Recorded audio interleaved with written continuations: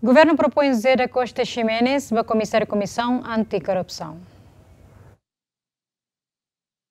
Lewis de reunião Conselho Ministro quarta-né, governo aprova a proposta do primeiro-ministro, onde nomeia ex-procurador-geral da República José da Costa Ximenes, para comissário Comissão Anticorrupção, Batinan Hat, Hahu Husitinane, Totina Ringrua Rua Nulo Resinghito.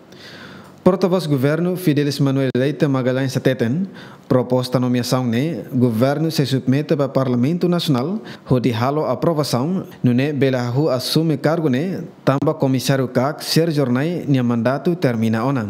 Conselho de Ministros Mons halo decisão, onde halo designação, vai a proposta para comissário da Comissão Anticorrupção.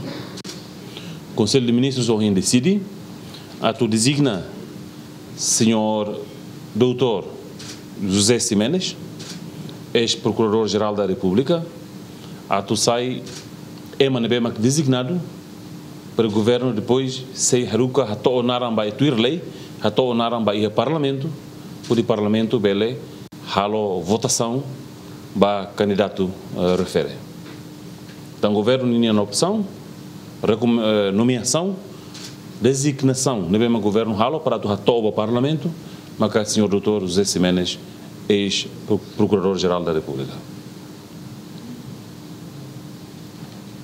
Se que eh, parlamento ligue votação em parlamento mas a maioria absoluta concorda ao candidato refere então o senhor José Simenes está aí próximo ou comissário anticorrupção turmai Comissário CAC Sérgio Ornai, eleito de Parlamento Nacional, e a Loron Sanu Resen Lima, Fulan Janeiro, Tinering Rua Sanu Resen Sia, votos a favor, Hat Nulo Resen Rua, Husi Deputado Sira, Nosimo Posse e a Parlamento Nacional, e a Loron Rua Nulo Resen Ida, Fulan Janeiro, Tinering Rua Sanu Resen Sia.